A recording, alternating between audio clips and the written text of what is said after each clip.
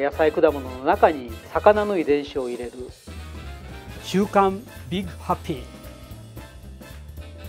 どうも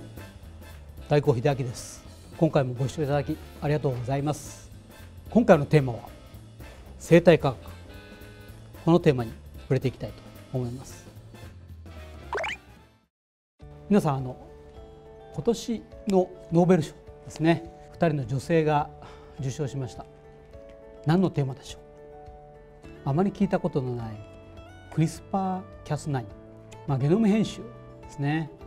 もともと日本人の方々が最近大腸菌で見つけて、まあ、その後救命がですねまだ十分できていなかったというところに対してそれを救命されて、まあ、応用分野までこぎつけていったというようなところがポイントになっています。ゲノム編集ですね遺伝子編集という言い方もしますけども、まあ、今回ちょっとゲノムという言い方をしていきます。まあ、遡るとですね、まあ、いろんな研究テーマ開発テーマがあるんですけども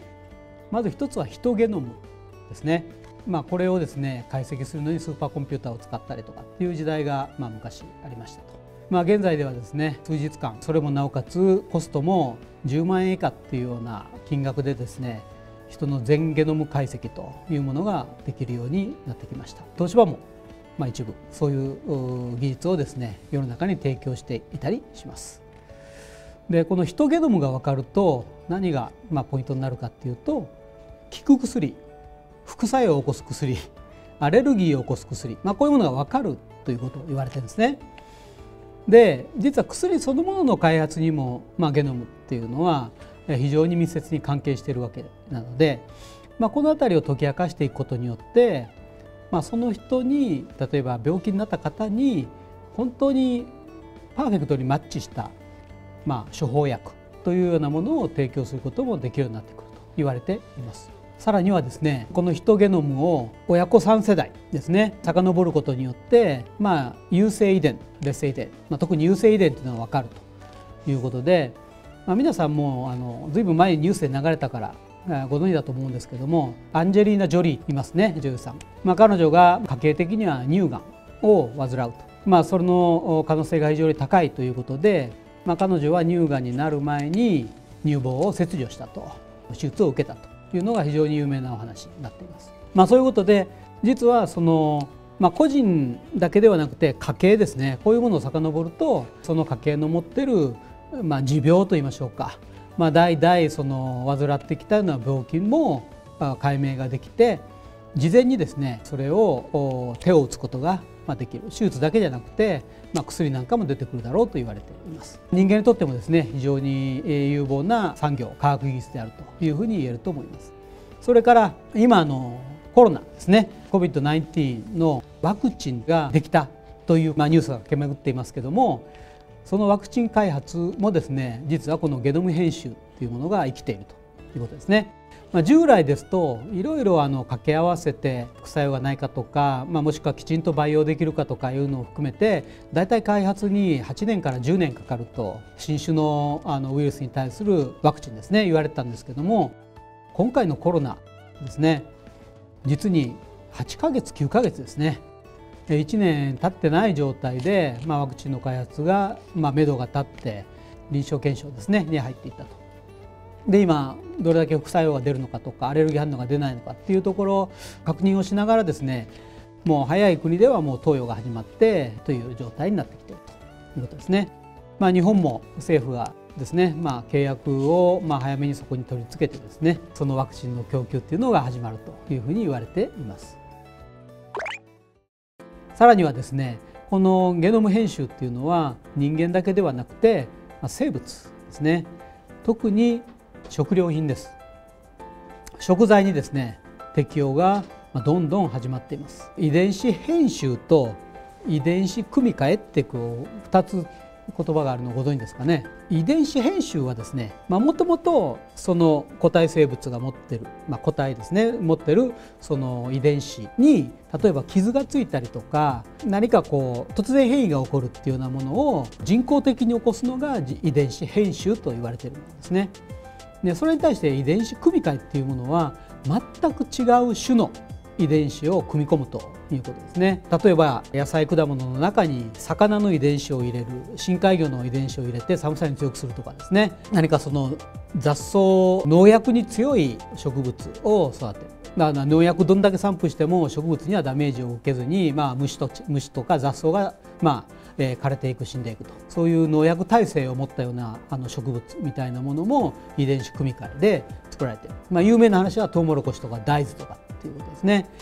世界の食料事情からするとですねやっぱりそういう食物の作り方をしていかない限りやはり飢餓が起こったりとかまあ、いろんな植物の問題が天候リスクも今ありますし、まあ、サステナブルに食の提供っていうのもできなくなってくるということですね。まあ、ただこれによってですね作物穀物、まあ、もしくは養殖というものの効率を良くするっていうのはありますので今あの植物の方の話をしましたけど動物っていいましょうか養殖もあります。例えば太らせる鮭とかですね クエと何とかを掛け合わせて早く成長大きい生態にするみたいな養殖が始まってたりとか、まあ、いろんなことが出始めていますね。まあ、同種同目であればあんまりこう食べても問題ないかなと思うんですけど全く違うありえないっていうような掛け合わせはやっぱりちょっと危ないかなと いう気がしますね。でもそういう産業は非常に今やっぱり伸びてるということもあるので食べるというもの以外の部分ということところには非常に有効かもしれません例えばですねこういうあの着るものですね人が着るものとかあとちょっとコーティングとか保護するような膜みたいなものですとか、まあ、いろんなものをですねその人体と親和性の高いものをこう培養成長させてこう身につけるとかフィットさせるとかっていうようなものを開発してる企業がいたりとかするんですね。まあ、そういうようなものは非常に人との、まあ、口にするわけじゃないんですけども、まあ、人の肌との親和性がいいとかいうようなところなので、まあ、ウェア系医療系それから場合によってはそのフィットネスとかですねあと美容とかいうようなところにもこういう技術がまあ使われていくだろうというふうに予測がされています。それからですね特殊微生物っていうものも今いろんな形で養殖され始めてるんですね。まあ日本で有名な会社としてはまあミドリムシということで、まあ、ユーグレナっていう会社がベンチャーで、まあ、今急成長してますけども非常に小さな微生物でございますけども、まあ、これは人の栄養にもなるしそれから油になるんですね。まあ、この微生物を使った油産業つまり油っていうことは、まあ、裏を返すと燃えるということなんですけどもまあ、石油由来の内燃系、まあ、油っていうのもあのガソリンとかではなくて、まあ、植物由来もしくはそういう微生物由来の油みたいなものが出始めて、まあ、エコで非常にまあ使いやすい二酸化炭素も排出ほとんどないというようなものが開発されたりしています。まあ、そういう意味でこの遺伝子の編集とか組み換えっていうのは、まあ、非常にですね今活気がある分野で一歩間違えると人間の倫理上にですね触れてはいけない領域みたいな 訴えかけるようなテーマが出てきちゃうということですね。そういう遺伝子編集のですねキットが実はもうウェブ上で売られたりしてるわけですね。まあ、そういうのを試したりするような人たちが徐々に出始めていて人に使うのはやめましょうとかですね、まあ、そういうような話も出回り始めています。いずれにしても急速に進化している分野でございます。ベンチャーも非常に多いです。ただ扱うのは若干危険もあるということなのでその自然に反することをある意味やってるわけなんですね、まあ、気をつけないといけないかなと思います。で実はこの人工的に、まあ、クリスパーキャス9とかいうようなものを使ってやるんじゃなくて宇宙船にさらすことによってこの遺伝子組み換えを加速しよう、まあ、遺伝子編集ですね。加速しようというような動きもあります。中国が確か月の裏側に月面着陸を無人でさせてそこにいくつかの植物ですね。た多分綿だったと思うんですけど何種類かの種を持っていって発芽をさせてでそれをまあ持ち帰ってですね地球上で成長させると成長が著しく早い。なおかつ大きいものが収穫できることがあ分かったということで、まあ、そういうものを中国ではその栽培の一つのコアの技術にしていこうみたいな話も出てきたりしていると。この前宇宙の話をしましたけど宇宙船にさらされるっていうことも実はこのゲノムに、まあ、遺伝子に大きな影響を与えるということですね。まあ、こういうところもご関心があれば調べてみてはいかがでしょうか。ということで、まあ、今回はですねゲノム遺伝子ということでお話をしましたけども進化がとにかく早いです。まあ、いろいろ情報を調べてみて皆さんもご関心のある分野に、えー、飛び込んでみてはいかがでしょうか、はい、今日のトピックスは以上になります。チャンネル登録がまだの方はぜひ登録をお願いします。そしてコメント欄への記入もお願いします。双方向のコミュニケーションをしていきましょう。大光秀明がお届けしました。ありがとうございました。